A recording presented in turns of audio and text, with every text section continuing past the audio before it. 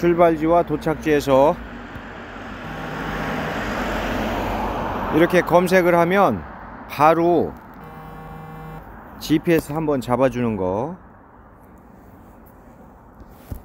도보 또는 자가용 택시로 이동할 때 바로 이렇게 한번 잡아준 걸로 해가지고 빨간색 나의 위치에 삼각형 꼭지점이 내가 가는 방향이 있게 이렇게 바로 GPS를 한번 눌러주지 않아도 출발지 도착지 검색 완료. 찾기 선택.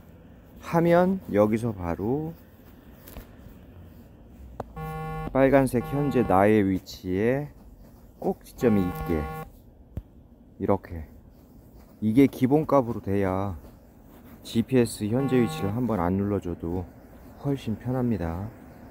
카카오 맵 빨리 업데이트 부탁드릴게요. 이게 훨씬 사용하기 편합니다. 도보 택시 자가용으로 내가 이동하는 방향. 제가 이쪽으로 이동하죠 삼각형 꼭지점이 이쪽으로 있으니까 빨리 업데이트 부탁합니다